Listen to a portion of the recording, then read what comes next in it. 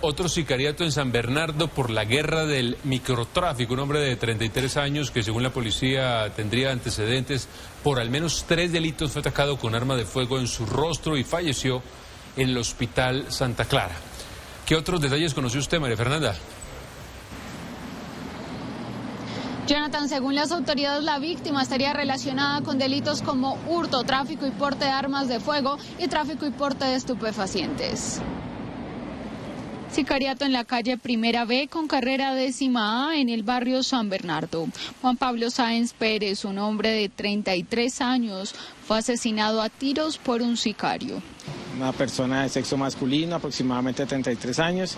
Esta persona es ultimada allí en vía pública y allí pierde la vida, eh, impactada con arma de fuego.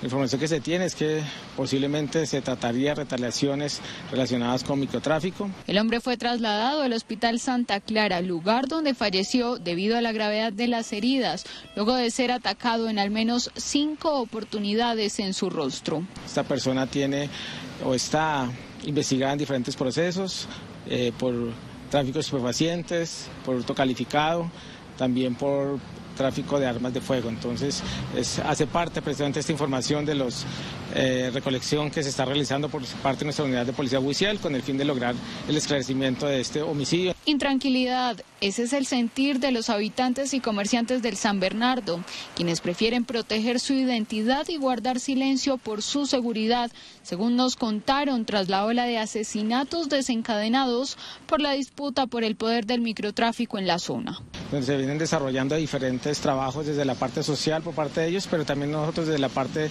de disuasión y de control en este sector. Adicionalmente eso, pues tenemos también unos procesos investigativos que se vienen adelantando con la Fiscalía. Por el momento, las autoridades adelantan las investigaciones para determinar si la víctima estaría a cargo de una de las ollas del sector y si a esto correspondería el crimen. Cambiamos de noticias. La policía trabaja para combatir la delincuencia en Bogotá. Más de 40 capturas se registraron durante las últimas horas. 24 horas de operativos de la policía terminaron con 42 capturas en diferentes puntos de la ciudad relacionadas con los delitos de homicidio, hurto y lesiones personales en la ofensiva del distrito para garantizar la tranquilidad de los bogotanos. Tenemos un reporte de 42 capturas desarrolladas través de la actividad tanto por el modelo de vigilancia comunitaria por cuadrantes, donde ha dado resultados tanto en capturas por flagrancia como en capturas por orden judicial. Importante mencionar que se ha focalizado sectores de las localidades de Kennedy, Suba, Engativá, Ciudad Bolívar, Rafael Uribe y San Cristóbal.